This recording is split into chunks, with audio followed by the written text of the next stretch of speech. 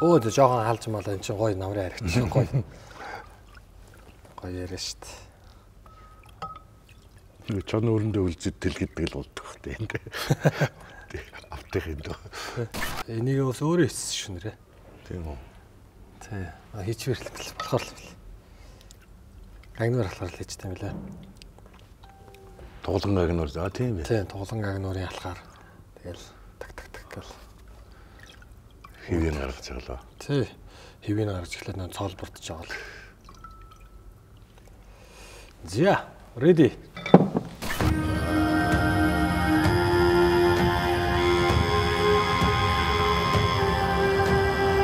Мэдхгүй зүйлээ мэдэж авъя. Таны нь Nomadic podcast.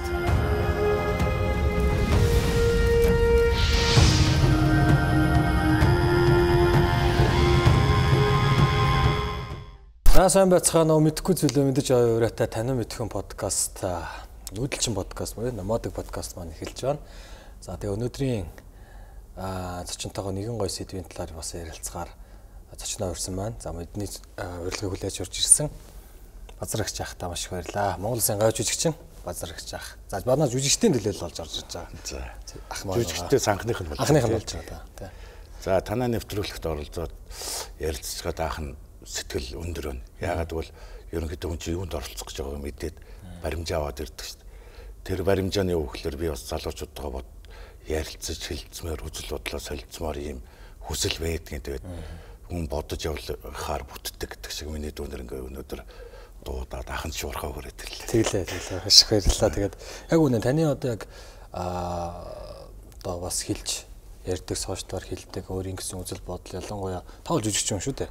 Гэхдээ илүү хэл соёл дээр те хилдэг өөрийн гэсэн одоо үзэл баримтлалыг ч бас хуваалцгаар танаас сонсохоор үг сонсож авахаар таныг өрсөн байгаа. Тэгээд би бол одоо яг олон залуучуудын төлөөл мэдхгүй олон залуучууд байна. Ер нь өв соёлын талаар, дээрэс нь ер нь хэлний талаар, ер нь нэг л бидний өнгөрсөнтэй холбоотой мэдээллийн талаар мэдхгүй залуучууд их байна. Тэгэхээр тий их байна. Аа бас мэдгэнч байл та. Гэхдээ мэдхгүй төлөөллөө болгож би өөрөө энэ ч сууж байгаа. Тэгээд таныг ураад за та бас өөрийн гэсэн мэддэг зүйлсээс хуваалцаач. Таны мэддэг зүйл туйлын үнэн болон туйлын мэдлэгтэй байх албагч та бол ах хүн биднэрт дүүнэртэй бас ингэж сургааж үгээ үзэл бодол хаваалцаач гэдэг үгнээс. Тэгээд таныг урьж оролцол яана. Тэгээд тантай сайхан ярилцаж чадчих. За тий. Тэгээ. Ах нь бол ер нь дөрөв дүүгээ ярианд байл хэллээ ш. Жүжигчин хүн. Жүжигчин хүн гэдэг бол их хэлгүй байна гэдэг бол явахгүй шүү дээ. Тий, тий. Би чинь монгол хэлний илэрхийл байхгүй, монгол хэлнийхээ утгыг мэдэхгүй, тэр үгний цаад гаргалгаа угсгааг нь мэдэхгүйгээр тоглоод бол үзэгчд бол намайг зүгээр л нөлмөл орхино шүү дээ. Ингиж боддгийг тийм учраас манай сайн сайн жүжигчд бол ер нь хэл усандаа их сайн байдаг байх гэж бодож байгаа. Тэгээ хэл гэдэг бол зөвхөн одоо юу гэдгийг те тэр нэг хариуцсан төрийн ажилтан ч юм уу нэг эрдэмтэн докторуудын хийдэг ажил биш байх л гэж бодоод байгаа юм. Лаган ганц тэдний ажил биш тийм. Бүгдээрээ л зүтгэхгүй бол манай улс энэ дэлхийн орчин үед бол одоо 3 сая хүн гэдэг бол дэндүү цөөхөн байна шүү дээ. Тэгээ гадны хэлэндээ эзлэгч юм бол тест сэг болоод дуусна л гэл. Тэгээ санаа зовоод байдаг. Харин тийм үлээ. Тэгээд бас базар агч ахыгаа зорж оролцсон одоо шалтгаан бол базар агч ах бол одоо хэл соёл дээр бол үзэл бодлоо шулуух илэрхийлдэг одоо сошиалор өөрийнхөө бас байр суурийг илэрхийлдэг уран бүтээлчдийн нэг төлөөлөл байгаа. Тийм учраас тантай бас тэр талаар гоё хамаагүй чөлөөтэй ярилцъя гэж байгаа. За өнөөдрийн бол сэдв маань болохоор за яг хуу ерөнхий сэдв байгаа. Ойлоо энийг бүр ингээд дандаа ярихгүй гэсэн үг. Ерөнхийд нь яриад энэ дээр асуултынхаа хариултыг одоо авчнаа гэсэн үг. Хэл соёл хөгжих ёстой юм уу? Эсвэл хуучнараа байх ёстой юм уу гэдэг ийм ерөнхий асуулт байгаа шүү. Яг ерөнхий асуулт. Тэг яг ерөнхий асуулт. Ерөнхий асуулт байна хуучрнаараа байх хөгжих гэдэг хоёрын хооронд тэр монгол хэлний чи өөрийнх нь хилээд байгаа нэг цаад өгвөл хөгжих гэдэг бол тэрийг зориудаар хөгжүүлнэ гэж байхгүй. Ерөөсө угаасаа байдгүй бах. Түүх харж яхад. Дэлхийн нийтийн амьдрал шинээр гарч байгаа технологи дэвшлээд агаад хэл автоматар хөгжөөд явж идэг. Аа хэн нэгэн бүлэг улсуу суугаад хөгжүүлээ гэх юм бол энэ сөнөөж эхэлж байгаа баг. Магадгүй хажууд л оролдож болохгүй юм гэж байна шүү дээ. Аа өөрчилж гин гээд бөөрийг нүдгээд нүдийг бөөргээд ингээд байж болохгүй. Энийгээ тэгээ хөгжүүлж जैन засж जैन гэдэг ингэдэг бол энэ бол зүгээр л дайсагнал. Тэр дээр дөргөө хөгжиж шít манай би хилээ ингээд сонирхчихд бол манай монгол хэл үндсэн язгуурын нүүдэлчин амьдралаасаа үүссэн бүх хэл төрөлх монгол. Тэгэл жоохон технологи тал руу гаргахлаар л хойд өмнөд хөрш. Тэгээ одоо сүүлийн үед англи англи хэл, латин хэлнээс энэ бол тухайн түүхийнхээ явцад хэл хөгжиж байгаа л асуудал.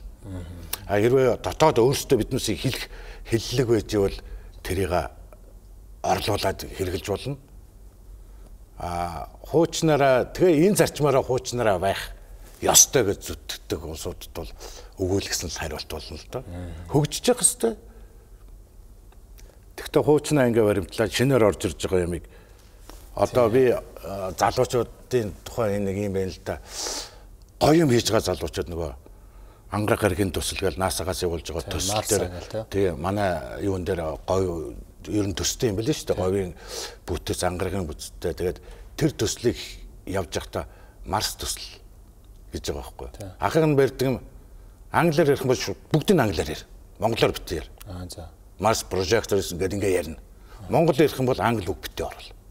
Монгол үг чинь нэр нь байна. Ангараг гэдэг үг нь байна. Хэрвээ ангарагыг татаж аваад Марс гэчихэд манай дэлхий гэж яриад яхын тэгвэл манай эрт манай мөн гэж ярьж яг адилхан үсттэй. Ягаад ангаргийн англиар ярих хэвээр бусдын монголоор ярих хэвээр гэж ийм жоох маргаан үүсдэг л дээ. Гэтэ энийг л залуучууд тэр нөхцөлийг ойлгохгүй одоо ингээд ганц нэг үгийн давтаж тэгэл нөгөө дүүнэр нь ч юм уу хараад тэрийгээ дагдаг гэж дагаал тэгэл нөгөө ангараг гэдэг нэр маань алга болоод зарим бүрдэг нэр угаасаа төвд нэр штэ санскрит нэр штэ ангараг гэдэг юу тий манайханд бол одоо ингээд од гаргасан нэрнүүд бол ер нь бол гадаадаас л орж ирсэн байх. Тэр эртний шашны философи, соёл, зурхаа мурхаагаас болоод Монгол нэр энийг яг нарийн хэлний мэрэгчлэлд мэддэг байх л да. Гэхдээ эдэн зул 100 жил хэрэглээд ирсэн юмыг өөрчилж болохгүй шүү дээ, тий. Зөв зөв. Одоо хоёлаа гоё гоё ярилцлага орж хэлэх юм байна. Бид хоёр заавал яг энэ бол ерөнхий одоо сэдэв маань. Тэгээ хоёлаа энийг ерөнхийдөө хоёрын талаас нь мөлчий гэж байгаа. Боломж талаас нь ярилцлагын хувьд Мэдээ танаас бас нэлээд асуултуудыг бас асууя гэж бодож байна. Чи сайхан үдцэн асуулт асуулт. Өдөөдөг. Үдцэн асуулт. За үдцгээс өмнө би танд бүр таныг хэлчихсэн. Хоёлоо уугаад энэ сайхан хайрг уу яа. Тийм сайхан хайрг байна. Тий, янзын сайхан хайрг байна. За. Манай хамтрагч өхөр хайрг зогийн тэргүүн брэнд тэгээ жилийн дөрөв үйлдвэрлэл юм сайхан хайрг авах бололцоотой болсон бас л инновац шинжилэл шүү дээ. Яаж өдөрт цагт айргийг яг ийм амтар намрын амтар нь ойлгож байна. Харин ингээ бодохоор ингээ шинжилэлт боц моц систем шүү дээ. Гүү гүү. За энэ болохоор яасан бэ гэхээр юу яаж байгаа. Гол нь нэг стандартын дагуу хадгалцж байгаа. Хөлдөөгээд хадгалж. Том том нэг одоо агуулхад ингээ хадгалаад аа тэгээ тэрийгээ бас нэг одоо бид нар чинь юу шүү дээ дээр үед чинь бүх айлууд тийм там том гоёутай байгаагүй чинь хөлдөөгч л байсан. Хөрөгч чинь тийм том савлгаатай биш те. Тэгээд энэ чинь хөлдөөгөөд бид нар өвөл ашигладаг байсан шүү дээ айргийг. Сайхан стандартын дагуу хадгалдаг болсон болохоор бууж болчих. Энэ бол ямар нэгэн хойлоогоо. Гол нь яг нөгөө нэг айлын ирсэн гой сайхан айрг айргаар аваа те. Булганы могдын сайхан айрг баг. Тэргүүн гэсэн те. Тэргүүн айрг.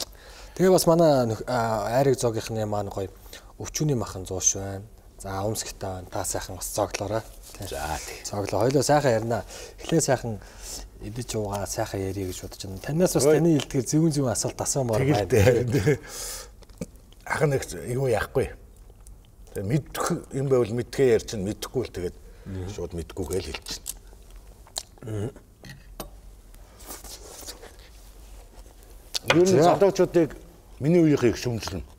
Надаас дээшгэн ч бас шүмжлэн Тэгээ би энэ нэг юм завсар гарцсан. Дээр үед бол яг хоёр нийгэм солигдож хахад социалист нийгэм гэдэг бол яадаг вэ гэхээр хүнийхээ бодох сэтгэхийг хүртэл зааж яадаг тийм нийгэм байсан. Тэгээ одоо нэг юмыг барьж авал энэ шууд муу нөгөөх нь барьж авал энэ шууд сайн гэхэд одоогийн наснаас ингээд бодоход дутагдaltaй байна. Тэнд нь сайн, энд нь муу юм байж бол тэрнээс ингээд одоо би бодоод байдгүй хайбрид байж болдгоо юм? Машин хайбрид болж байгаа юм чинь. Нийгэм бас хайбрид. Аа залуучуудаа хүмүүжүүлэхтэй мэдээж коммунизм заахгүй ч гэсэн тэр зарчмаараа өвс өвс соёл их хэл зан заншлын сонголтгүйгээр заадаг. Сонголтгүйгээр гэдэг чинь ирэх байхгүйгээр зана. Тийм үү. 18 ус өнгөдөн да та Монгол улсын жинхэнэ гишүүн боллоо. Одоо тад чөлөөтэй төр. Та одоо юугаа яаж болно те? Яг үнэ. Бид нар өөрсдөө бас тийм байл да. Залуучуудыг буруутгаас илүүтэйгээр зааж сургаагүй гэж. Яг тэр алдагдсан. Тэ. Ялчгүй өвөмөтэй өс хүүхдүүд ондоо байдаг шүү дээ. Тэр чинь өвөмө чинь зааж өгöd байгаа байхгүй. Тэгэд л одоо би бол нийгмийн боловсролын хавьд ч тэр гэр бүлийн боловсролын хавьд ч гэсэн залуучуудад энэ одоо ах уй талаас ч өв соёлын талаас ч юм уу амьдралын одоо тэ сургаалын талаас өгдөг. Ер нь хол шүү.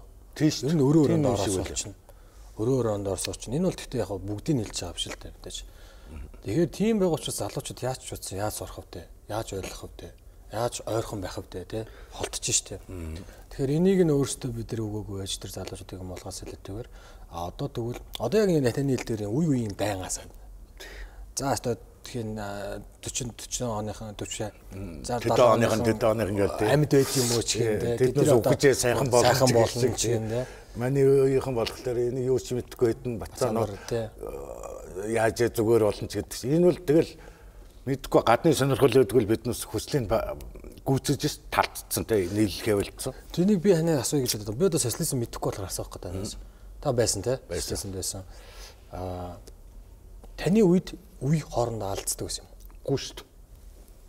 Эрэм дараатай одоо сумогийн зарчмаар, жудогийн зарчмаар хэрвээ дээд үетэйгээ мэдээж улс юм чинь янз бүрийн байна л да. Гэхдээ нийгмээрээ ерөнхийдөө яг ингээд шат шатаараа би нэгэ хүндэлдэг зарцуулдаг захирагддаг ёсороо л явчихдаг.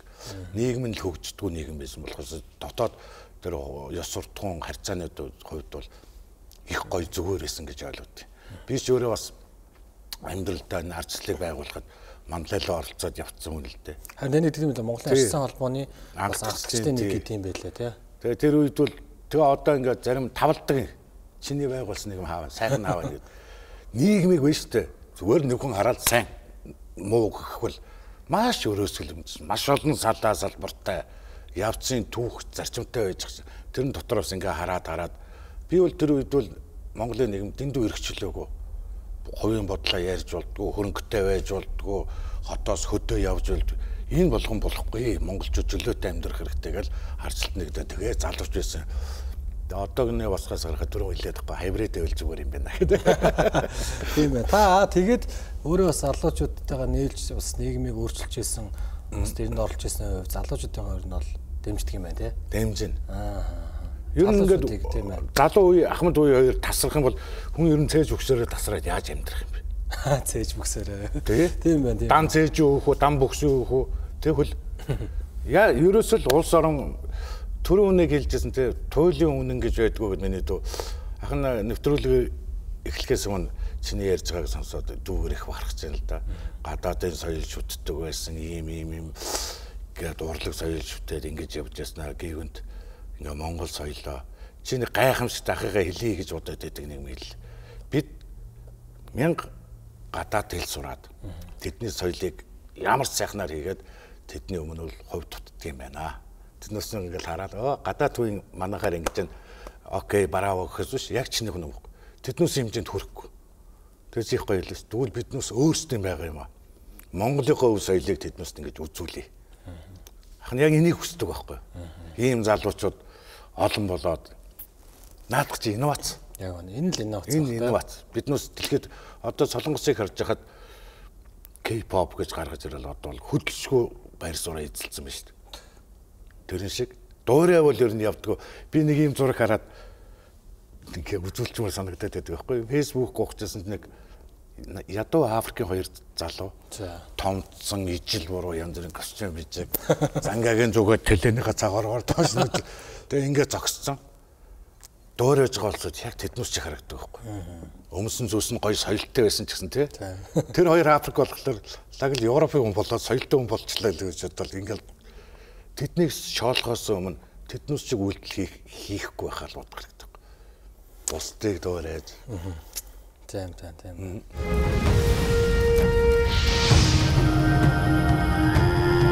Тэр нь бол одоо дугаас би нэг Азийн орнуудаар ч ингээл Европ за гадаад орнуудаар ч ингээд бахан зэрэг явж байхад би нэг зүйлийг надад мэдрэгдсэн нь яагаад ингэж үс соёл өмсөд дээл өмсчод ах нарын үеийг сонсох гоод 50 гэр дотор те 50 гэр студиэс ингээд юм хийгээд байгаа гэсэн чинь би яаж би өөрийгөө уг нь жоохон европч царайтай гэж боддог гэсэн.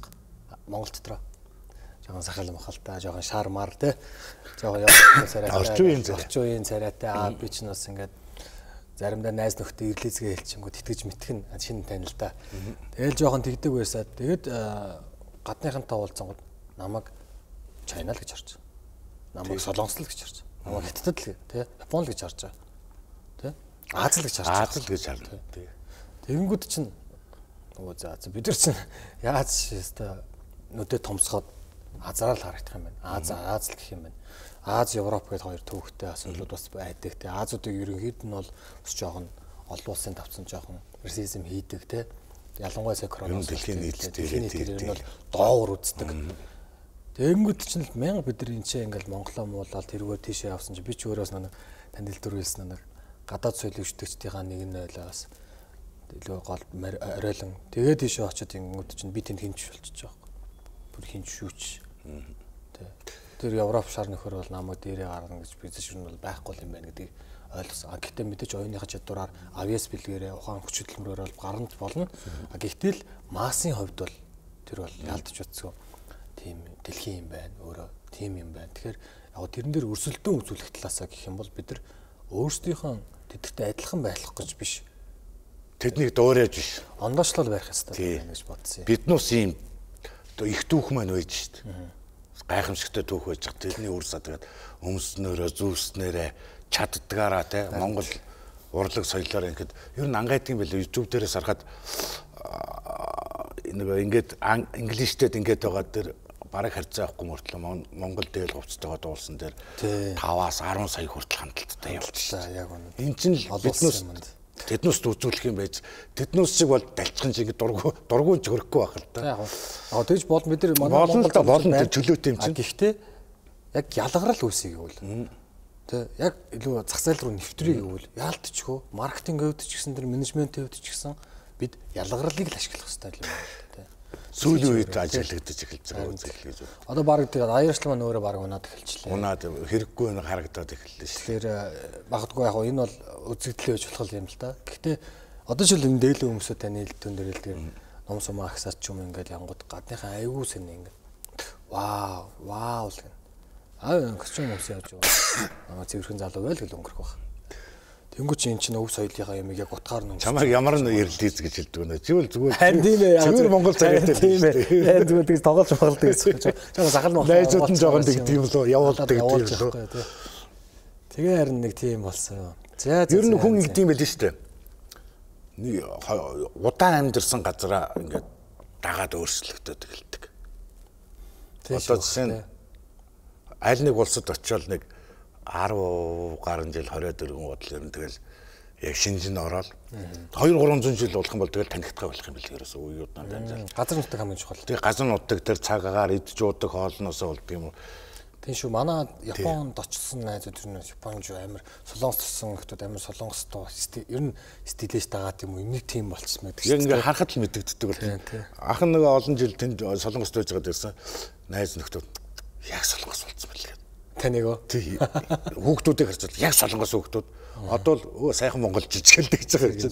Тэгэхээр нэг орчин агаар идэж ууж байгаа хоол энэс болоод хүний царай мараа өөрчлөгдөг юм л энийг тэр хүн судлаачд нь судалж мэдэх. Яг зөв тэгдэл тэнд чинь нэг чиглэг орчин. Энд чинь хуурай орчин. За таны нэрний нэрнээс бас нэг ганц юм асуух гэсэн юм аа. Аа энэ лого гэдэг Тэр нь тийм урчтай юм ла. Ба таны фэйсбүүк гэсэн юм байна тий. Базрагча бямжив лого гэсэн юм. Логоч лого биш л дээ. Яг монголоор лог байхгүй юу? Аа за. Хэрвээ сүүлчийн о байхгүй лог болчих шүү дээ. Лог. Монгол дуудлагаар лог. Лог. Тэгээ хэлний лог. хоолон гэ болгонд лог. Лог. Авга гэчээд аатай үздэг шүү дээ. Аагийн дууддаггүй шүү дээ. Авга гэдэг. Авга тий. Авг аваг биш авга гэдэг ингээд монгол хэлний тийм нэг хэлний хоолойн үзүүрийг болгоно. Тэгээ энэ ямар учиртай гэхээр миний бүр багада гэрийн нэр. Тэгээ ээж аваасаас яагаад энэ над ингэж нэртэй болсон гэсэн. Дөнгөж хөлд орчоод тэрэгнээс буугаад нөө төрдөг тэрэгтэй тэрэгнээс уучаад мочиглтэй хүн харангуут тэрэгнийхээ дугуй гიშгэлээ лог лог лог лог лог лог лог Тэр нэг олон лагаас ганцын таслал тэгэл лог болцсон. Тэгээ ах нь ирснээс хойш яг хөө зүгээр л энэ нэрнээсээ салмааргүй санагдал. Тэгээ уран бүтээлчтэй хэлдэг байхгүй. хэрвээ зөвшөөрөл та нар ах хүүхдийн нэртэй хамт тавьчаач. Тэгээ одоо ихэнх нь тавьдаг. А миний фэйсбુક тэргээр явж байгаа. Би сургуульд орохдоо базаргч гэдэг нэрийг мэдэхгүй байсан юм чинь. Логлог. Одоо ч миний бүх дотны найзууд гэр орны ах хатуу хамаадан бүгд логоо. Лого. Одоо тэгээ лог буюу логоо юм ба штэ. Тий лог. Дуудахтаа логоо гэнэ. Тийм байна. Зүгээр хэлэхдээ лог гэл. Бат батаа гэдэг шиг тий. Тий. А тэгвэл та дахиад нэг оо нэмэх байсан юм шүү. Тэгэхээр чин дуудчих логоо гэдэг. Аа тийм байна. Тийм байна. Лог гэдэг. Тийм байна. Гэхдээ манай нэг богино их шиг байдаг шүү дээ. Юм хоолойны болгодог. Одоо хан хан хинтэгийн хан Хан. Хэлний үзүүрийн болгоход хан болгодог чинь ард нь аав ичдэг дээ. Ханаа гэж уншдаггүй шүү дээ. Тэрнтэй адилхан минь намайг лог гэж логоо гэж дууддаг байхгүй. Лог. Хоолойных лог. Зөө зөө зөө ойлголоо ойлголоо. Тэгээ өөрхөө фэс дээр лого хитээр хийх үү, лого хийдгүү гэж зарим хүмүүс тэгж харьцаад байдаг. Энэ лого гэдэг э, томьёо нэр томьёо гарахаас өмнө би тэр нэртэйгээ явсан шүү. Олон түмэн дэрийг хэлчихэв. За тийм байна. Базар жаах маань лог гэдэг нэртэй нь лого биш шүү тий. Лог, лого ахал гэдэг юм. Лого ах. За лого ах гэдэг үл таны хэлээ да дутч тий. За тий. За лого ах бол би таны тэр нэг ТV6 дээр оролцсон байсан. ТV6-аас яатсан байсан тастаа тавсан. Тэр бол нэлээд үтсэн хүмүүс баг 2 сая хүмүүс.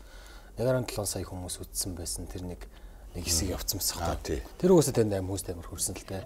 Тэр нь монгол хэлний талаарх одоо монгол үгний талаарх нэлийн хурц шүүмжил тэгээд би тэнийг харч за ах яг мэдж байгаа юм байна да эсвэл тийм ойрын мэдээлэл авсан юм байна да л гэж бодсон бохоггүй.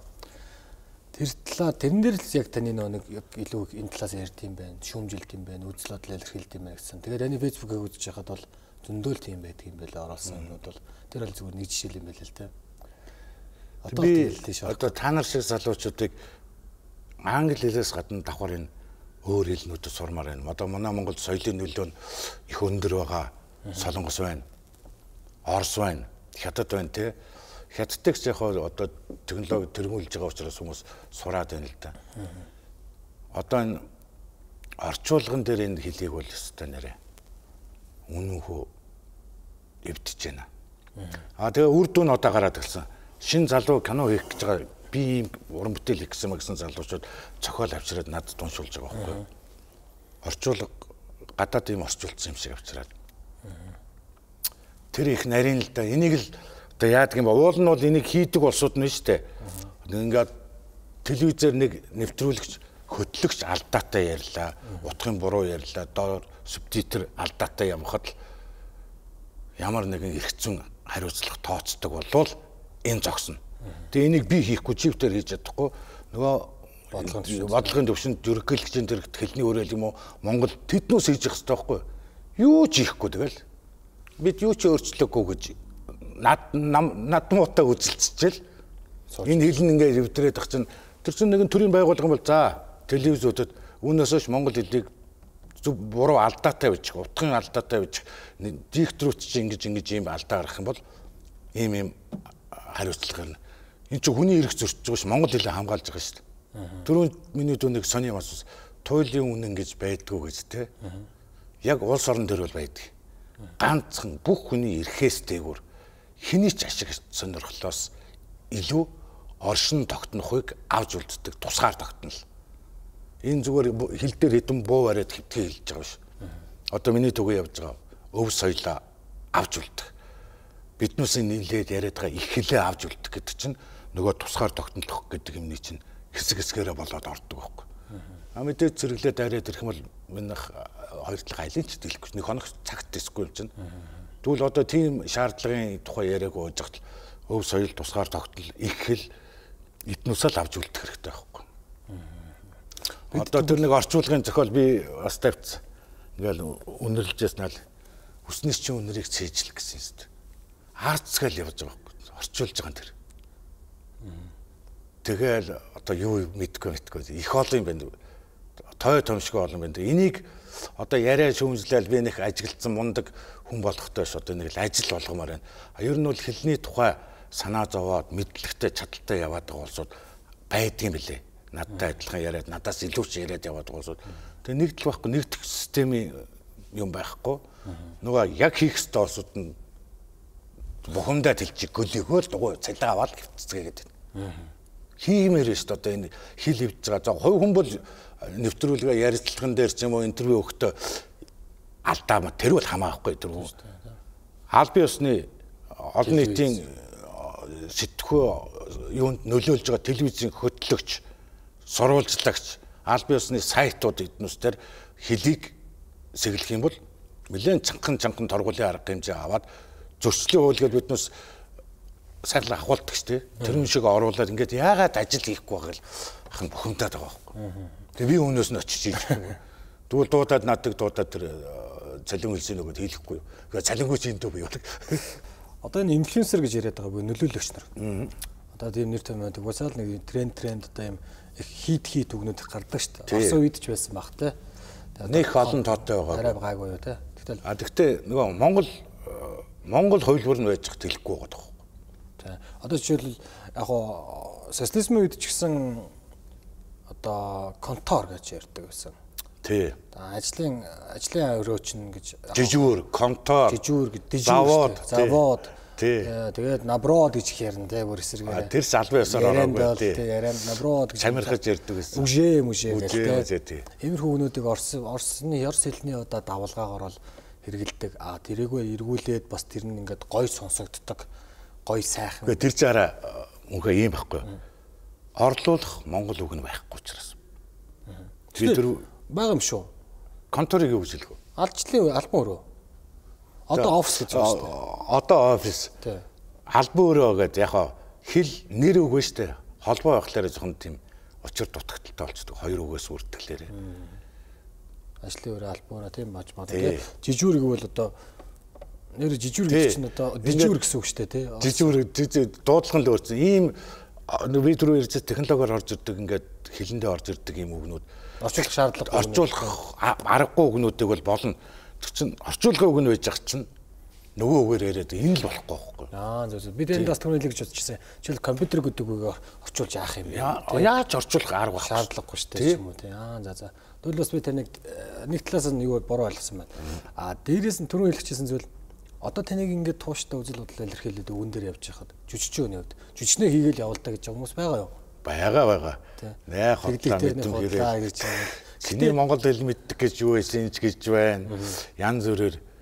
Гэхдээ би нэг янз бүрийн гарцгүй ч юм уу олон анхаарал татах гэж миний нас ч ер нь хийс ажил тийм биш шүү дээ. Зүгээр ингээл амьдрал дээр ингээ явж байгаа. Бухимдуулаад байгаа юм чи ерөөсөө.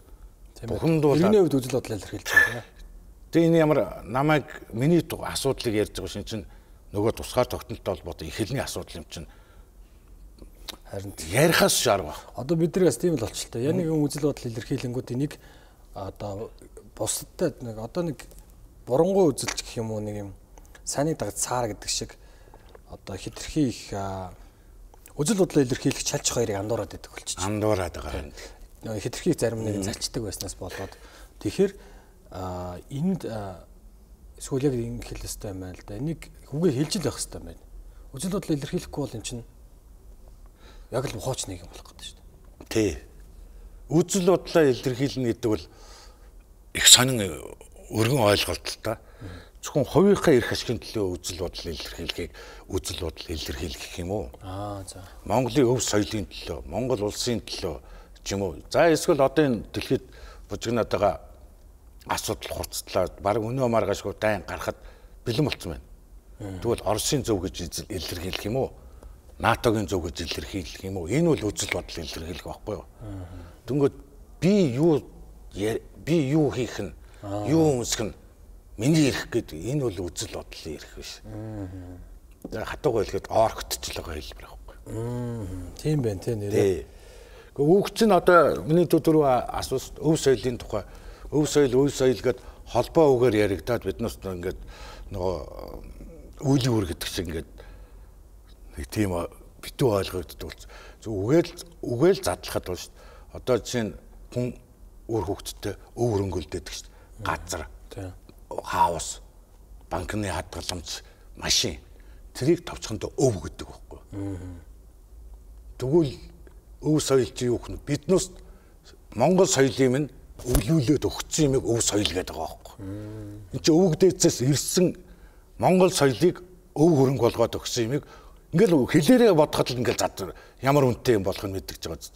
Тийм биш. Эцэг их өвөг өвөг дээцээс ирсэн соёлын өв хөрөнгө юм аа. Тийм учраас өв соёл гэж байгаа. Соёлын өв хөрөнгө. Аа. Бодит биш нөгөө банкнд байгаа доллар биш. Одоо бит бос өв гэдэг. Гэх жишээгээр ингээл хөөгөл Монгол хэлээ хөөгөл бодглохлоор бүгд ингээл тайлбарлагдал байдаг. Харин тийм ээ. Яг одоо би бас сүүлийн үед өгөн дээр их сонирхдаг болоод байгаа юм. Одоо жишээлбэл би бас ялкахаас асууж зан заншил гэдэг үгийг уламжлал гэдэг үг хоёрын ялгааг асуугаад би ч нэгэд бүр ойролцоо утгатай байна гэж бодсон чинь аюугаа тайлбарлаж гисэн байхгүй. Өөрөө салаа явж байгаа тий.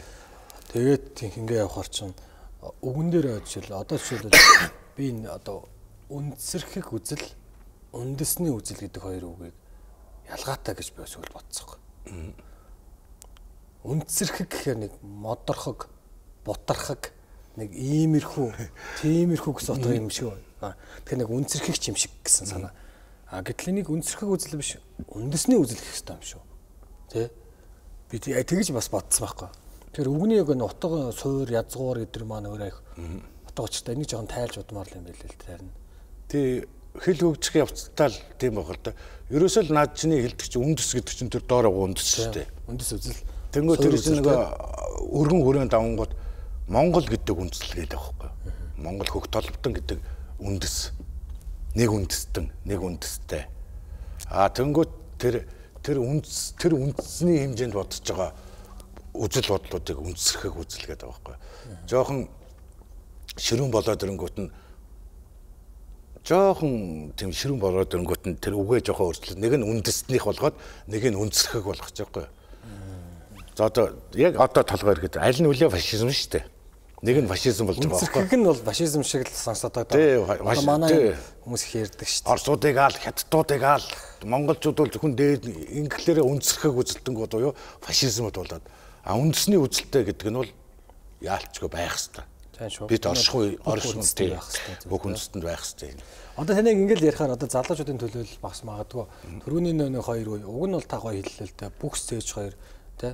Толгой Салаад амьдэрч салаад амьдарч болохгүй гэдэг шиг. Гэтэл яг ингээд иймэрхүү байдлаар илэрхийлээд ирээд тийг яг илэрхийлэлээ гаргаж шít үзэл бодлоо илэрхий цаваа хэллээ. Гэтэл залуучууд хүлээж авахгүй байна. Яаж вэ? Амаргүй шүү дээ. Одоо ийм асуудлыг чинь ингээд манайхаа ярьдаг. магадгүй Өргөс авсан юм шиг гэж Тий. Ийм хурдан болох. Нэг нь төвдрээд хэдэн жил бас юм мэдэхгүй байна. 20 30 жил болчих шиг боллоо.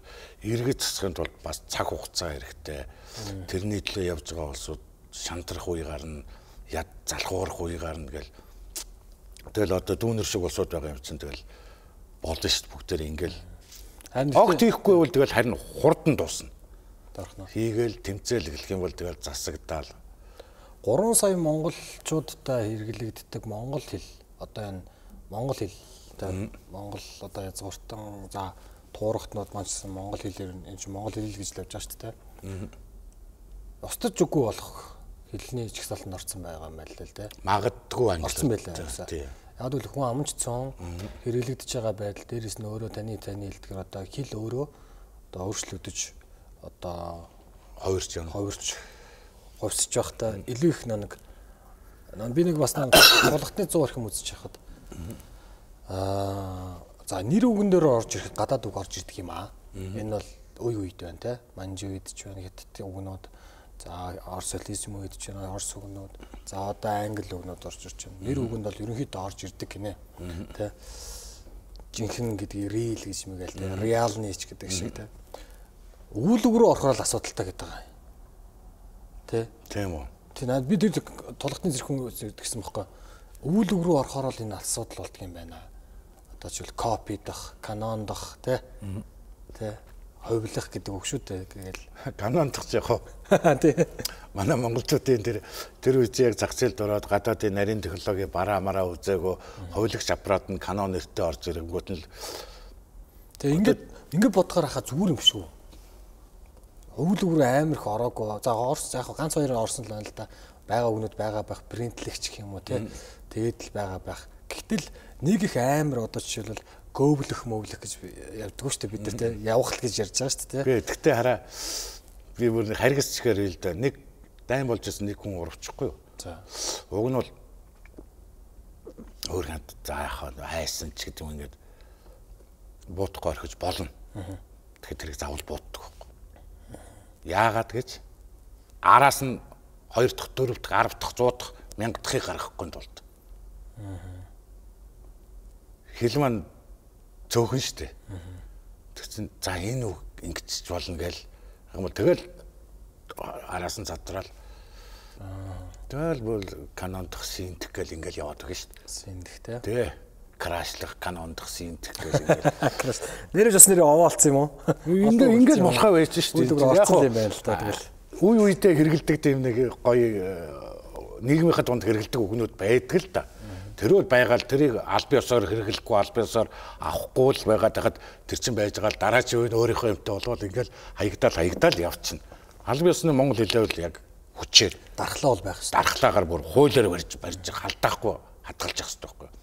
Түүнээс л гудамжинд явж байгаа хүнд канондох гэж яах гэсэн үнийг барьж байгаа. Чи монгол хэлийг хэлээ гэдэг. Энэ бол энэ бол гэж бороо болно л та.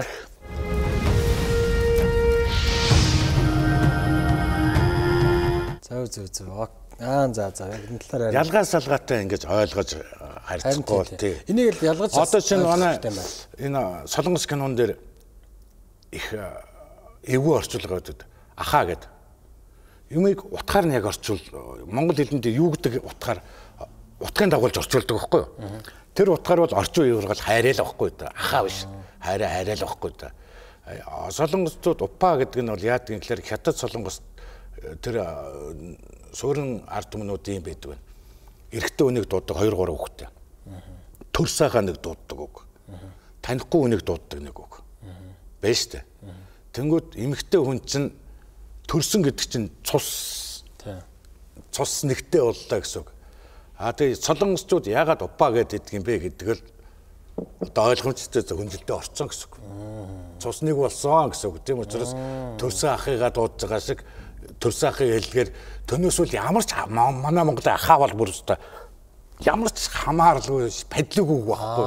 Утгачлж авчлах хэрэгтэй. Утгатай тэр олон төмөнд хэлэхдээ тэр олны дэргэд упаа гэд дууддаг чинь төрс ах шигээ дуудаж чинь. анзаарч байгаа юм шүү. Цусан дөрөл бол ингээд гэрүүл болсон юм байна гэдгийг зарлж байгаа үг байхгүй. Хятадаар гөөгөө гэдэг чинь.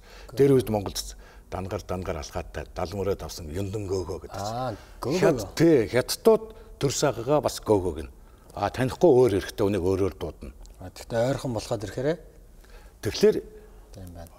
Цусныхаа үний э, дуудлагаар дуудана гэдэг чинь л зарлж яах гэсэн үг. Одоо манайхан хараа хараа гэдэг байгаа шиг л адилхан л байхгүй. Хараач гаднаас орж ирсэн дээ. Тийм үү? Тий, миний үед бол миний үед ч үл намайг нэлээд нас яах хүртэл хайраа мариул байхгүй шүү дээ. Хойшоос шүү. Тэг юу гэж дуудах вэ? Юу гэж ингэхлэх вэ гэнэ? Яг өвгөн хөгшөөн. Тэгтээ залуучууд уу? А тэр чин бэлэгдэлтэй. Өвгөн болтлоо. Би чамд үүр тайртай хайраа гэж ийм гацсан ярьж байгаа өвгөн гэдэг чинь өвгөн болтлоо бай. Хөгшөөн гэдэг чинь хөгшин болтлоо яваа л гэсэн үг. А за за за. Энийг тэгж бэлэгдэж дуудаж байгаа байхгүй юу? Түүнээс бол хөгшин болцсон эмгэн болцсон болохоор нь тэгээд дуудаагүй. Ер нь бол өвгөн хөгшөө гэдэг чинь бараг л ханилаа л хэлдэг байсан. Гэтэ хэлэхэд ихлээр гизүү чинь амнаас гарч өгөхгүй. Тэгээ миний үеийнхээ яхаа зүгээр энгийн байдлаар нэрээрээ л дуудана. Эсвэл өөрөөсөө нэр өгчнө. Зэн бүтэн байх юм бол таллаа ч юм уу. Тэгэл дуудаал. Тэгэл ерөнхийдөө л өвгөн өгшөөл байдаг л дээ. Тэр чинь утга нь гоё гоё үсттэй. Хоосон би чамд үүр тарьтай нэгээс хоосон ярьж байгаа нь тэрийг л зүгээр л өвгөн гэх чинь л өөр ямар ч холж орохгүй өөр хүн дурахгүй чамайг өвгөн болтол чинь явъя л гэсэн бэлэгдлийг дуудаж байгаа. За та шинэ юм мэддэж жаалаа. Ингэ шиг усахгүй нэрэ утгачаалж. Монгол хэл чи ийм гоё байхгүй. Тийм юм байна. Тийм юм байна. Тийм одоо ханиа гэж бэлэгдэж те бэлэгдэж. Бэлэгдэж алсыг бэлэгдэж зүгээр өвгөө өгшөө гөгчл тэр бүх хүүх нь яваад өгч байгаа. Би чамд үүр тайртай байна гэсэн ийм урт бялдах тэр чигээрэл яваад хэлэгдэхин шаардлагагүй. Тэгтээ тэгж хэлдэггүй шүү дээ манайхан чи даруухан чимээгүй болсууд тийм байна. Тэгээ ерөнхий зүгээр энгийн нь бол ханиа гэж үг шүү дээ. Хань тий? Ханилт нэг хорвог ханилт туулна гэдгээс илүү сайхан юм юу гэдэг. Тийм тий. Тэгээ ханиа. Ханиа. Аа тэгтээ үерхчээвэл яах юм? Тэгээ өөртөө л мэдэхгүй. Тэгээ хуулиар шийдэхгүй шүү дээ. Уппа гинөө, хойны гинөө, ахаа гинөө. Тэгтээ таны үед одоо ингээд социализм үед чинь та түрүүн бас ярьж ирсэн шүү дээ. Аа бас ингээл залуу байсан, гадны соёл хошуурж исэн, гадаад төсөгтэй юм болон товцон дээрээ ингээд мэдхгүй ч гэсэн наагаад өмсөн тэр нь гой санагддаг байсан ингээл. Тэгэхээр ингээ бодохоор чинь одоо энэ залуучд ингээд байгаа чинь бас буруу биш юм шиг. Бүх залуучд тэгдэм шүү. Бүх бүх залуу үед тэгдэг баг. Хамгийн гол нь эднийг одоо юу гэдэг юм бэ одоо? Дараа үеийнх нь харагдахаар одоо сошиалар телевизээр гаргаад сурчлаад гоо өөрөөсөө таны үед өөрөөсөө хоорондоо тэр бол радио телевиз сон дээр гарна гэж байхгүй шүү дээ. Тийм юм гаргана гэж байхгүй. Тэгэл өөрөөсөө нэг юм өөр өжилтэй тий. Шал өөрөөс. Халттай байсан учраас. Одоо чи нэг нь ингээл утсуурал ингээл нөгөө юмнуудаа хийгээ явуулчихлаа. Тийм ээ. Ер нь бол бид нар бол бүгд зөвлөж хоруу нөрөөл нөлөө их тараад буруу юм тараад хүүхдүүд тараад сураад. Гэтэ одоо би чинь яг өөрөө түрүүн танд хэлжсэнаар харийн соёл буюу одоо гадны соёл за ялангуяа тэр дундаа бүжиг дуугаар би яг залуучуудынхаа тухайд хамтлаг мамтлагтай байгаа. Залуучуудыг бас одоо дайлтан дагуулах үе байгаа тий флаш моб хийгээл бид нар чи тэгээ стил имижээ бас түгээгээд гудамжны бүжиг тий хипхоп бүжиг электро бүжиг тектоник бүжиг гэл. Тэгж яхад бид нар чин тэгэл одоо жишээл ашиглагдах үгнүүд байна л да. Ялт тектоник гэдэг бүжгийг электро бүжиг одоо цахилгаан бүжиг гэж орчуулах юм уу? Хипхоп бүжиг юу гэх юм? Уялзуур юу гэх ямар бүжиг? Брейк бүжгийг юм нуграа хуграа бүжиг гэх юм уу те ингээ орчуулгач амар утгагүй санагдчихсан. Тэр орчуулах хэрэггүй шүү дээ. Тэ байна. Тэрүүгээр. Гэтэ хамгийн гол нь одоо миний яриад байгаа нэг тэрэг байна шүү дээ. Нийгмийн бодлогын юм шиг гарч ирэх ирэх л буруу. Хориглоно гэж байхгүй. Тэр чинь хөөхөст байж ах хэрэгтэй байхгүй. Үе үеэрээ дараа дараас ямар урсгалууд гарахыг жанр гарч ирээд тэрэн дотроос манлайлаад яг оройтн гараад ирсэн бол за наадхаа олон нийтийн шүлжээгээр цац гэдэг. Тэгэхгүй л юу ч хийгээгүй хүүхдүүд гарч ирэл ингээл ингээл тэр нь бүх нийгмийн сүлжээгээр энэ болохгүй. Би нүрүү хавраад гэдээсэн шүү дээ. Залуу багт нь жоохон чангалаад өгөө. Тийм байна. Одоо жишээлбэл сая ингээл анзарч чад хипхопчуд байна. За маш их гадаад үг хэллэгээ асууж одоо монгол үг би ч өөрөө бас тэгж дуулдаг л да. Англи монголыг хослуулж өгүүлж дуулдаг молдог. Тэнгүүд за яг хуу Тэнгүүд нэг талд нь бас нэг гоё нөхдөд байна. Аа заасаа сая нэг бас нэг өөр нэг залуу гарч ирлээ рэпер гарч ирлээ. Илүү монгол үгнүүдийг гой гой нөх хэрэглэгддэг үгнүүдийг ашиглаж үглээ үгэлж үзүүллээ. Тэгсэн бас гоё байна. А тэр санааг л та илэрхийлэх гээд байгаа юм байна шүү дээ. Хоригл нь устган дарна гэсэн бол байхгүй хүүхдүүд үеэрээ тэгээ дуулаад бүжиглээ хипхоп байна уу яадаг нь брейк данс юм уу энэ байна. Гэхдээ энийг ингээд одоо юу гэдэг юм бэ? Хамгийн эцсийн шатнд шалгараад Шилдэг нь болоод гараад ирэнгүүт телевизүүдээр гардаг. За энэ манай хипхопын тэргүүн. Тэгэл одоо чинь телевиз байхгүй болсон шүү дээ. Харин тий ер нь утга нь утга нь тийм. Утга нь. Тэг чи одоо нэг технологийн хөгжил нь айгүй хэцүү болчиход байна л да. Шууд шууд эхнийхээ эхнийхээ юмнуудыг гараал ингээл ингээл зарим нь одоо олонний анхаарал татахын тулд бүр зориуд дээр эвгүй этгээд юмнууд хийж шít. Тий. Тэгээ одоо хормон дооцох явдлыг бол ер нь бүгд л баг хийж ин дөө. Яриа мараа. Дуулах энэ чинь шившиг штэ гадаад ер нь намайг солонгост явж танаа монголчууд ийм юмд айгүй дуртай гэсэнтэй гэж ингээд доромжилт. Тэг би тэрийг л үргэлжлүүлэл хийгээд штэ. Тэ? Бүгд л ингээд нүцгэлж гээл бүгд л нөгөө шалдалж гээл бүгд л нөгөө өнжилт орсон юм үзүүлчих гээл Уг нь манай Монгол залуучууд ч арай өөр битэр нэг инфлюенсер байхын тухай те инновац хэрэгжүүлж яхахын төлөө дээш дэвшиж гарч яхахын төлөө ярьж яхад тэрний төлөө энэ ууланд толгойтой шүү дээ. Хамгийн л өндөр коэффициенттэй багтаамжтай гэдэг юм л шүү дээ. Тийм шүү дээ. Тэгэхгүй гадаадын соёлд давтцаал тэгэл бөхсвөр яриад зураал үзүүлээд яваа. Тэгээд энийгээ орчин үеийн залуу инфлюенсер гэж ярих юм бол өстой. Үгүй шүү. Зөө зөө бид таны үзэл бодол шүү дээ. Бид тэр хуваалцсан, сонссон, ярилцсан. А тэнгуут бид нар эндээс танил нэг бас нэг хэлэх гэдэг таны мессеж бол хайбрид систем, хайбрид гэдэг шүү дээ. Тэр хайбридийг чинь би бас ингээл ойлгочих гол үзэл байна. Гэхдээ яг зарим зүйл дээр бид нар ингээд хэд их тууширсан байдлаасаа эсвэл ахнад тууширсан байдлаас болоод дүүнэрээ үргэх тохиолдол байдаг юм болоо ч юм уу те. Одоо жишээлбэл та За та битэр ярихад арай гайгүй бас ойрхон байж магадгүй. Гэтэл дөнгөж та нэг 18 та хүүхэдтэй дүнд дүүтэй бол яг ярихад бол бас хэр ойрхон байх бол таны бол бүр ингээд бүр ингээд ойлгохгүй байх болов уу гэж би бодоод байгаа байхгүй? Үнэхээр ойлгохгүй. Тий. Чиний үеийн зорилго би энийг ганц ингээд олны өмнө гарах юм дээр хэлчихэд биш. Амьдрал дээр ингээд гутгалдаал явж байна. Зарим нь асуун, зарим нь ингээд үгүй хаа инглэр чи ойлгохгүй. Тэгээд тэр ойлгохгүйг би ингэж одоо өнгөрсөн. Сөнцгөө хийж байгаа юм шиг сонсгож байгаа юм. Одоо засахгүй л болохгүй яг сонно. Тэгэхээр энэ орчин үеийн технологи хэрэгслийг ашиглаад мэдлэг дутуу, авиас чадвар дутуу улсууд ингээд сошиал өрмийн онгод төр төрийг жоохон хяндаг хяндгал болж байгаа хэрэгтэй байхгүй. Нөгөө 16 долоотонгууд тэр юм чаддггүй мэддггүй улсуудын тэн тэр марцганыг аваад дагаад ингээл ингээл ингээл ханараал уруудаад байна. Надад миний амьдрал сайн сайхан амьдрал дуусчихмал би дугуй байж болно л доо. Гэхдээ миний нөгөө яриад байгаа төрөний туйлын үнэн гэж шээ. Энэ 3 сая хүн яах вэ тэгээд? Ингээ ханараад 100 гараа 1000 гараад ингээд явах юм бол Тийм ээ яг үнэ. Одоо инхээр яалчгүй хоёр талтай л болчиход би бас өөрөө залуучуудаа хүмүүрээ бодож байгаа. Өөрөө бас тэгдэг байсны хувьд. Яг хоо эргээд бас таныг бас талаар бодоход би өөрөө бас өв соёлоо одоо эрхэмлж байгаа эрхэмлэх гээд байгаа хүний хувьд энэ дунд нь ингээл гацсан шалганд л байна л да яг үнэ хэлэхэд залуучуудынхаа сонирхол байдлыг ингээ яг бодит байдал дээр харахад бол одоо тэд нар ингэж болно гэж байхгүй улам өчөр болвол тий яг тэгтээ тийм бийж болиулчих гэж байгаа шүү дээ. Ер нь бол байх ёстой онлон тэр байхгүй. Одоо зогсохгүй. Тийм нөгөө талаасаа бодоход нэр Монгол улс маань одоо 3 сая болгоно. Хил улс маань юу болж байгаа лээ.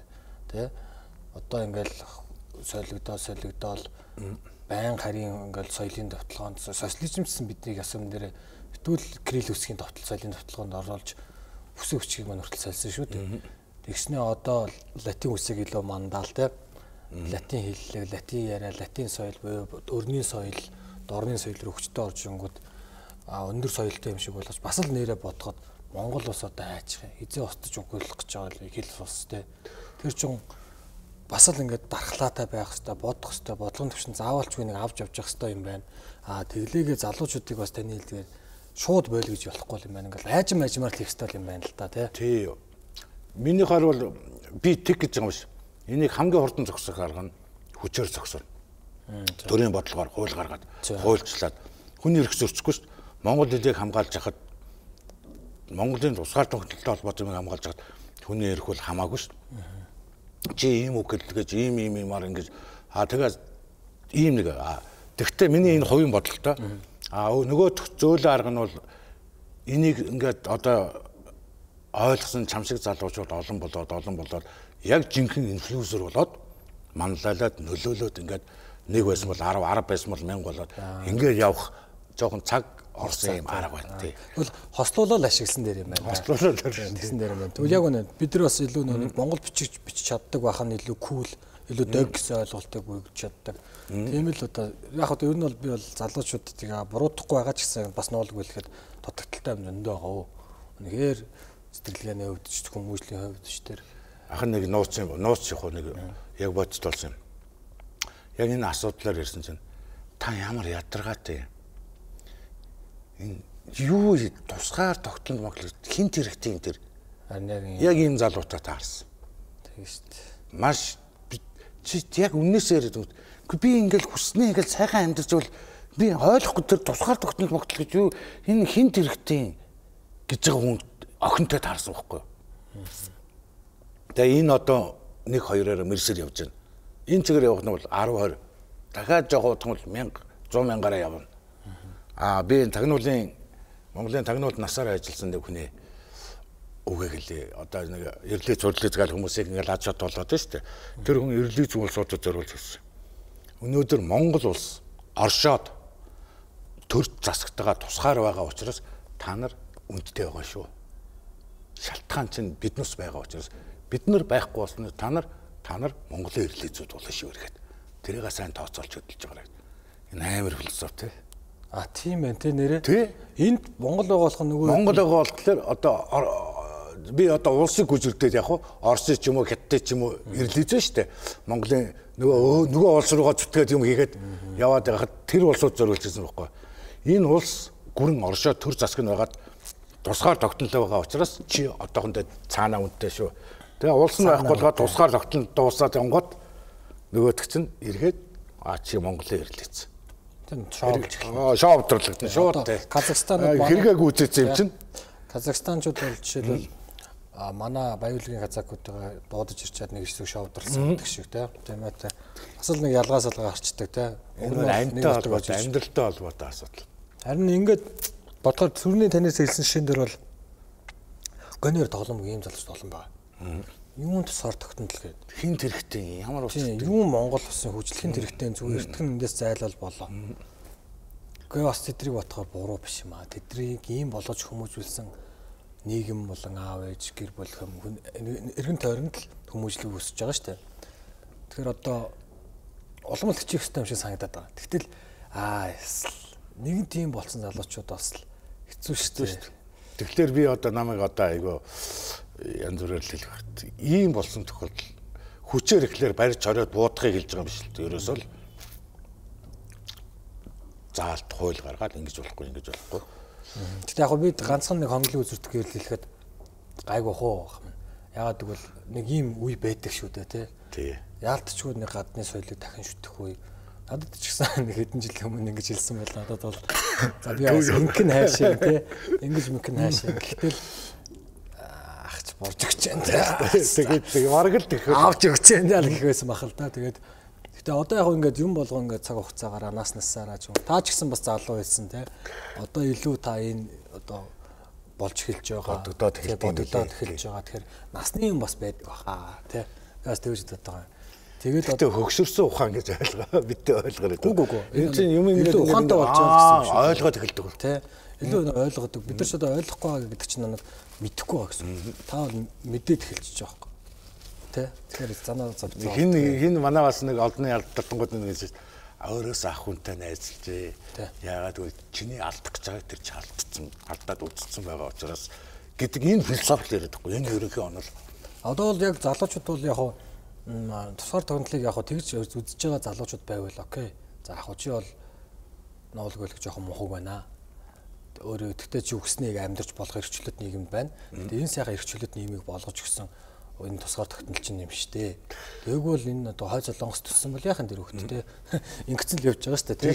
Тэгэхээр одоо яг уу Америкт байвал бас ондоо тийм. Гэтэл Америкт бүгд л жаргалтай байдаг. Гэхдээ ер нь аль ч улсаа хой солонгос ч бай, Америк ч тусгаар тогтнолын эсрэг санаа агуулсан бол зүгээр өнгөрнө гэж байхгүй хоо. Улсын дайсан гэж авах бах. Тий, улсын дайсан гэж орно ерөөсөө шууд.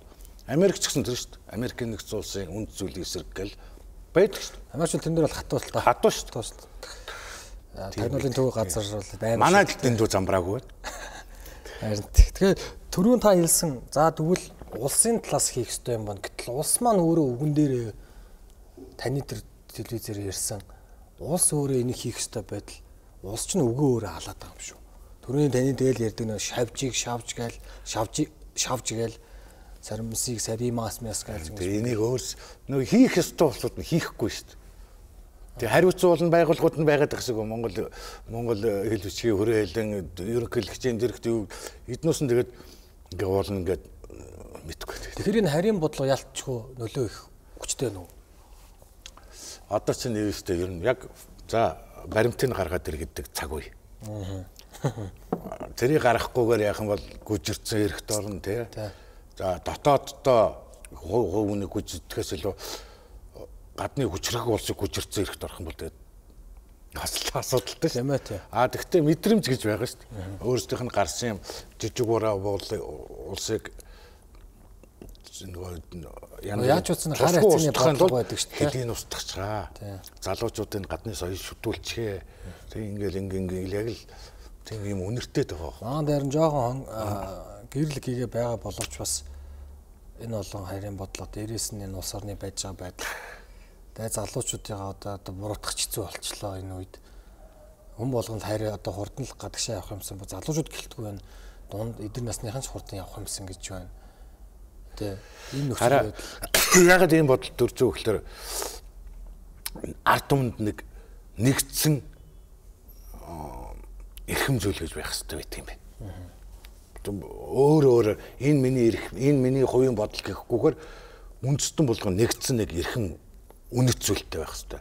За би энийг дээр үеэс таамаглал түүхээс харж хахад манай их хүчрэхэг хойд нэг нэгцэн үнэт зүйл нь их эзэн хаан байсан. Богд эзэн Чингис минь ээ. Тэрэн дээр санаа оноо зүрдгүү нэгддэг. За Монгол улс бурууд нь мөхөж явах үед тэр нэгтгэж явах юм шарын шишин барьж явсан. Ээ бурхан гонч усан маань бол лам лам багш минь ээ богд гэгээ минь ээ. Тэрэн дээр зүрдгүү байсан. Социализм үед коммунизм нэгтгэж ясан тэрэн дээр. Коммунизмыг ээ Монгол Ардын усгалт нам минь ээ. Төр засаг минь ээ. Тэрэн дээр байсан. Одоо нэгдэл байхгүй. Чи дураараа чи дураараа баяж баяж баяж баяжхыг сайхан амьдралгаад ингээд одоо хэцүү энэс л үүсэж байна. Би дөнгөд ясл цэцэрлэгээс тусгаар тогтнол гэдэг юмыг эх орон тусгаар дотор тогтнол гэдэг юмыг хатуу хатуу гэж бүр бүр зачгүй болсон заагаад тэгээ 18 хүрээд өөрөө хөл гიშх чинь тэр чинь арилжгүй суудсан ба шүү дээ. Би энийг хэлээд байгаа хайбрид гэдэг нь. Тэгээ тийм сайхан иргэнтэй болонгоо за Тэг яг үнэн те. Японочууд солонгосчууд яг тийм штэ. Солонгосч бас эсрэг өнцгөө үндэсний үзэлтэй хүмүүс шүү. Тусгаар тогтнол. Эх орон гэдэг үзэл нэгтгэж идэг гэдэг те. Гэсэн мөртлөө K-pop-тайгаа цуг урагшилчлээ. Тэгээ урагшилж лээдэг. Бослуулж авч явж идэг те. Нэрэл Чи түрүү амар юмэрч бүгд Монголоос зайлахансаа гэдэг чинь эн чинь ерөөсөл яг л нэг юм зүгээр л бууж өгч. Талд цаа ийцэн хүмүүс өөрсдийнхөө нэг одоо урсгалаар юм болчлоо л одоо буруутах гар байхгүй буудаж болохгүй тий буруут гарахгүй буудаж болохгүй ийм эн чин зөвлөл нөгөө битүүри яриад байгаа амин чухал оройн дэд шаардлага тусгаар тогтнол хөгж шиг болж эхэлж байна. Тусмаа бууж өгчлөхгүй юм байна шүү дээ. Уян үед те.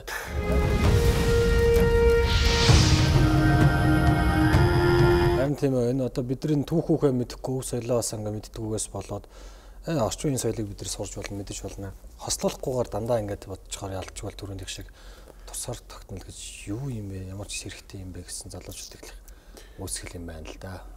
Яг гадаадд сайхан амьдраад одоо юм болж байгаа юм шиг байна. Ер нь гэхдээ гадаад айлын айлын карма өрөөнд амьдрах ямар өдөг тэргээр зөөрлөл бодох.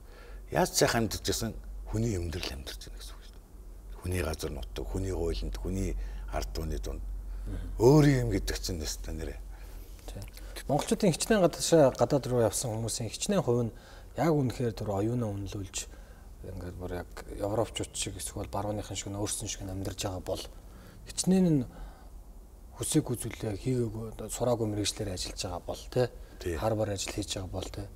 Тэгээ ингээд бодохоор их орон уул нь бас ачааргалтай хүмүүс гадагшаа явсан хүмүүсээс сонсоход эх орон шиг ачааргал гэж хэлээ барахгүй л гэдэг юм тий Энд байгаанууд нь ийм нэг фестер яваад ирсэн сонссноо. Арабын нэг сууд хүн хэлсэн бэл хүн дөрөх цаг зоригтонгуудыг төрүүлдэг юм аа.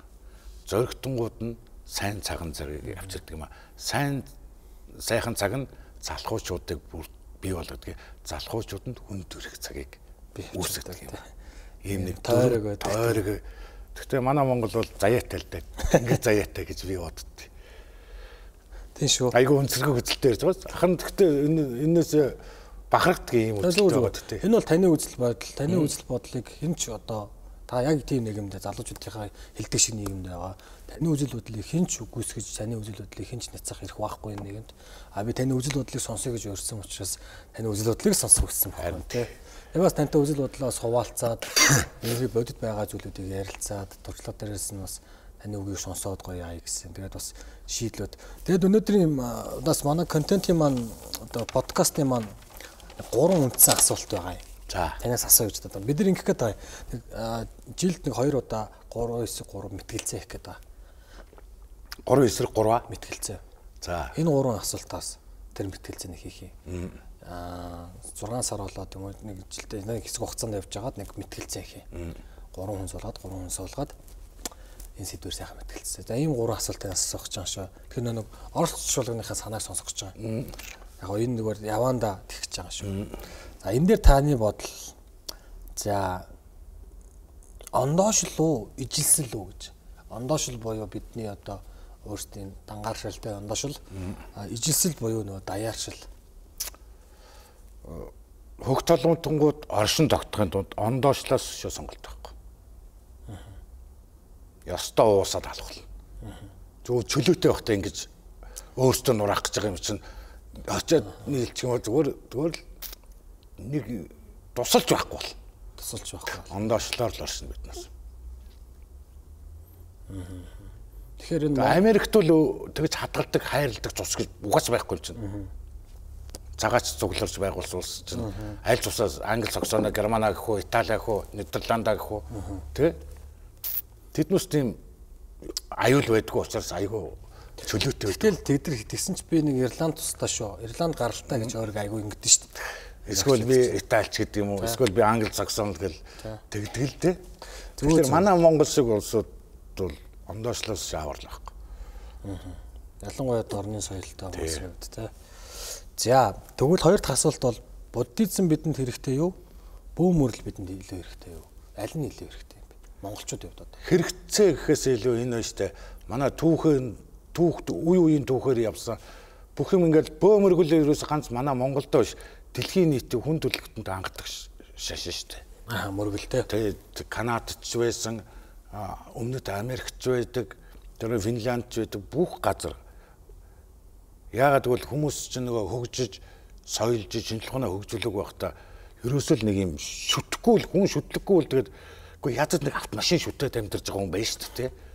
Нэг шүтлэгтэй болж аваад тэрэн шиг хүн төрөлхтөн тэгтээ энэ байгалийн хууль ертөнцийн хуулийг бол яалчгүй бүх дэлхийн нийтээр адилхан хүлээж авдаг учраас бөө мөргөл бол дэлхийн нийтийн эртний шашин. Аа. За тэгээд дараа нь буддизм үүслээ. Дараа нь христэн шашин үүслээ. Тэгээд аллах үүслээ. Яг насныхаа ирэн бэрвэл. Тэгээ нөө оюуны бүтээлүүд юм чи нэг зүв буруу тэр нь мэрн гэдэгээс илүү аль нэг цус урсгасан бай хүнд хүний амьдралаар л бодоход тэргээр нь тооцох хэрэгтэй байхгүй. За тэгвэл аль нэг цус урсгасан юм? Одоо түүхээр харахад христэн шашин, загалмааны шашин гоё тий. Загалмаатай төдгөр аянтаа ингээ хүүхдийг загалмаанд өлгөж галд амьдаар нь ингэж ингэж дундад зууны үед буддизмын нэгдүгээр та хоёрдугаар та ингэж байгаагүй. Тий. Яг нь мөрөлдөөнүүд байсан байдаг тий. Тий. Тэгтээ буддизмын гүн ухаан бол ер нь агуу шүү дээ. Шинж ухааны том эрдэмтэд хүртэл энд нэг юм байгаад байна гэдгийг хэлээд байгаа байхгүй. Түүнээс бол хэд хэд өдөр хумсаа ахуулах уу хэд өдөр үсээ авах эднээс бол Монголд тэг яагаад тийм байгаад байгаа юм бэ?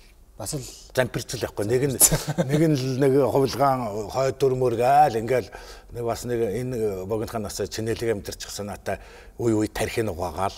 За тэгэж болохгүй шин ингээд түүнээс л яг философи дэд онлын хувьд бол хамгийн нэрнгүй шишин. Энэрнгүй ш. Хамгийн үнэн шишин. Үнэн шишин аа тий. Тэгээ биднес нөгөө үгийг буруу ойлгочдөг. За би яг тийм бурхны шишний том хүний дэргэд өснө үед гурван дөрвөн үндсэн юм. Энэ бөөрн киш юу хүүхэ. Биднес хальц сонсвол нөгөө л шишний өвгний үг. За утгаар нь одоо дэлхий бөөрн юу? Сар бөөрн юу? Нар бөөрн юу? Ангараг санчир бүгд бөөрн юу? Тэгээ тэднээс тойрог замаар явдаг. Бүгд бөөрн. Тэгээд энэ харуу чинь хүмхээ тоосноос бүрддэг шүү хүүхэ. Тэр үед технологи хөгжиж байхад атом, нейтрон, электрон, молекулыг өөр юу гэж хэлэх? Хомхын тоос. Хомхын хороо хомхын тоосноос бүрддэг юм аа. Амьдралын мөн чанарыг үүлээр үүр юм шүү. Одоо бид нас болохоор нүгэл хийчихлээр л тэрийг боддог юм хэмжээнд хүрсэн. Үүлийн бас тий. Үүлийн үүр юм шүү. За би яг шинжлэх ухааны нэрээ 25 тэрбум жилийн дараа э, өмнө асар их нягтрал боллоо гэж сансарт хийн. Эн чинь үйл биш юм уу? нягтрах үйл биш юм уу? Үрн тесрэлт бас. Үйлдэж байна тий. Үйл, үйл, үйл ямар нэг үйлдэл болж байгаа байхгүй тий. Тэгээ нягтрах үйлдэл болж байгаад үр дүн гарна штэ тэр үйллээс нь үрн яасан гэхээр тесэрсэн. Тэрс тесэрсэн эргээд үйл. Цацгцны үйлээс болоод хуйлрах үр гарсан. Ингээл үүлийн үр үүлийн үр гэдэг дэлхийн үүслээ усан дээр нарны тусгал туснаас болоод анхны планктонууд замгнууд үүслээ Энэ буддын шашны өмнө Аллах ч үүссэн, Иесус үүссэн таарж байгаа үйл өөрөөр үүсэж байгаа байхгүй тэр. Үйлдэлийг л үрн гараад, үйлдэлийг л үрн гараад. Агуу тийм байна. Бас философийн хувьд бол үнэхээр гоё шашин байна. Гэтэ бас бөө мөргөл чинь бас философийн төвшөнд бас өндөр шүү. Мэдгүй би ах нь мэдгүй юмны гадах бол тий. Ер нь бол бодиттой байх гэж боддгийм би. Аа зөв зөв зөв. Окей окей. За за тэгвэл таны хариулт ерөөд энэ асуулт хариултаас ерөөд авлаа. За за сүүлийн асуулт. За. Гурав дахь үнс асуултаа маань. За ирээдүйд юу болохыг мэдэхгүй. Нүүдлийн соёл үлдэх болов уу? Суурин соёл үлдэх болов уу? Аль нь үлдэх болов? За ястаа нөгөө ванга шиг л хүн хэлэх байх та зүгээр хүслийг асуул би хүслийг асуул нүүдлийн соёл үлдээсэ гэж хүсэж байна. Одоогийн нөхцөл байдлаар бол суурин соёл үлдэх байх л та ер нь. Үлдэх талаасаа. Тий. Магадлал талаасаа. Гэхдээ ингээд хэрвээ янз бүрийн нэг ч том том суурил болох юм бол эргэл нүүдлийн соёл нь гараад ирнэ л дээ. Одоо яг энийг бас асуусан шалтгаан нь суурин соёлын одоо ер нь бол бид нар суурин соёлыг зөв гэж бодсон чинь буруу болж байгаа гэдэг маш олон зүйлээс харлаа шүү дээ. Экологи талаасаа. Байгаль экологи талаасаа. Тэгээ явж явж манай энэ нүүдлийн соёл маань ямар эко систем байж вэ? Тэгээ экологид ямар динэ таны хэл дээр байгалаа шүтдэг монголчууд нүүдэлчд те. Тэгэхээр яг аль нь бас яг аль алийн буруутгаж болохгүй ч гэсэн одоо нэгд би өөрөө хичнээн гэж ярьж чаж суурин соёлоос холдчихдаггүй л те. Яг энэ технологид сурцсан, технологичдсан тий. Энэ камер байхгүй бол тий. Тий. Энэ гар утас байхгүй. Дата байхгүй бол тог байхгүй. Ер нь тог л байхгүй бол тэгэл. Гэхдээ яг арга нь олдох л болох л байх арга нь тий. Тэгтэл дассан газрын давуу зөвлөн болцсон болохоор хэцүү баг. Гэхдээ нүхээр нөө нэг асуудал үсрээд нүүрэн дээр ирчихэд бол орой унаал явчих юм байл л тий. Уг нь л тийм код бол морин унах гэж бас нэг сар ноцолдох хэрэг гарна шүү. Тий, тий, яг тийм. Зам шиг сурцсан залуучууд бол өөр баг. Аа, тий, ер нь бол жоохон тийм л дээ. Гэтэ эхлээд буларна шүү дээ ядаж. Буларна. Шиглүүлнэ, хацуулна, дагруулна янз бүрийн болоод тий. За, за, за. Ахтаа баш их баярлаа. Манай лог ах, лог, лог, лог ах, лог, лог ах. Логоо гэдэг тий. Логоо гэж дууддаг гэсэн. Базар агч ах маань, уулсын аавч базар ах маань, базар агч ах маань уралцлоо. Тэгээд өөрийн үзэл бодолтой тэр өв соёл дээр болсон. За хамгийн гол ерөнхий манай асуулт бол хэл соёл хөгжих ёстой юм уу? Хууш нараа байх ёстой юм уу гэдэг үндсэн ерөнхий асуулт байсан. Тэн дээр бол бас миний ойлголтоор бол та бол за яг өөрийн гэсэн үзэл бодол hybrid систем гэдэг зүйлийг авч явах хэрэгтэй юм гэдэг би ойлголоо. Ер нь бүх ярианы туршинд hybrid нь танд бол аюул сонирхолтой санагдаад үр дүнтэй гарч магадгүй юм байна. Нэг нь бид нэрээ суурин хайж чадахгүй. Гэтэл бид нар нүүдэл хайж боломгүй Таны хэлдэг нь буудаж болохгүй тий. Буруутгах болохгүй. Бас бууж өгж болохгүй тий. Тийм сайхан зүйлсээ бид нар авч үзэх хэрэгтэй байна гэдэг ерөнхийдөө мессеж ойлголоо. Тэгээд бас хэл соёлын хувьд бол үргэлж нандиныг хайрлах хэрэгтэй зүйл маань юм байна. Хэл хэл мал гуравтай хүн баян манай Монгол баян гэж байдаг тий. За тэгэхээр ингээд дүүдээ ажилд нь амжилт төсөн ийм Монголынхаа өв, өв соёлын төлөө ингээд зүрх сэтгэлээ шулуудаад явж байгаа. Тэгээ зам чинь их хол юм шүү дээ. Нэг хоёр өдөр дуусаад үр дүн гарна ч гэж байхгүй чи болно ч гэж байхгүй тий. Тэгээ энэ сайхан ажилд нь маш их сайхан амжилтыг хүсье ёо. Тэгээд энэ подкаст чинь үнсээ сонссон бүх хүмүүстэй миний яриан дотроос гээхэн гээгээд авахын аваарэ гэж хүсье. Аа тэгэл явах. За ахтаа бас үргэлжлүүлсэн баярлалаа. Энэ манай түрүүнд хэлсэн. Бэлэгтэй. За. Монголын үндэсний брэнд одоо байгаа. Энэ хөхөр айраг зоогийн маань энэ тэргүүн гэдэг айраг байгаа. Тэгээд та бүхэн сайхан та сайхан хэрэглээ гэрээ. Оо за за за. Цагаан идэ юм биш үү? Энэ уусаа айраг маань шүү. Энэ уусаа айраг. За сайхан байна сайхан. Гэлээлаа. За. Тэгээд өнөөдөр та бүхэнд нүүдэлчин подкаст буюу Nomadic podcast а бас яагаад бид англи хэлээр нэрлсэн бэ гэхээр та бас таныг бас асуух болов гэж бодож байгаа тийм. Энийг өнгөрчих гэж өнгөрчих гэж харин яг тэгсэн түрүү та харчаад харчаад ингээд өнгөрчих шиг болсон. Би ягаад англи хэл дээр бас илүү байгааг бол а олон улсад бас подкаст хөрөх сонирхолтой байгаа. Яванда бид нар ингээд сабтайтлаар англи сабтайтлаа хөрөх гээд байгаа. Ерөнхийдөө Гэхдээ тэр үед нь ингээд өөрчилчих болдгоо байж хэцүү байсан шүү дээ. Үгүй үгүй. Үгүй үгүй. Тэр нь энэ дүрсэн үлдэн тийм. Нарга хийж. За за за за. Болсон баха. Тийм ээ. За баярлалаа хта. Тэгээд өнөөдөр та бүхэнд 50 гэр студиэс аа Үүдэлчин подкаст төрлөө мэдхгүй зүйлээ мэдэж яваарай. Таны мэдхэн подкаст өнөөдөр бас нэгэн гайхалтай зүйлийг мэдэж явлаа. Хамгийн бас одоо сонирхолтой байсан дэр мэдэж авсан зүйл гэвэл монголчууд өвгөн эмгэн гэж хайртай бүсгүйч залууч хоорондоо хөгшөн гэдэг гэж. Тэр нь өвгөн хөгшөн өвгөн болтлоо хамт бай, хөгшөн болтлоо хамт бай. Хамт бай гэдэг маш гоё санаа байсан байна. Тэрийг бэлэгдэж бэлэгдэж тийм гоё бэлгэдлийн арт юм байна гэдгээрээ маш ийм сайхан зүйлийг бас мэдэж авлаа. Тэгээ баярлаа. Танд маш их баярлалаа. Баярлалаа. Баярлалаа. Баярлалаа.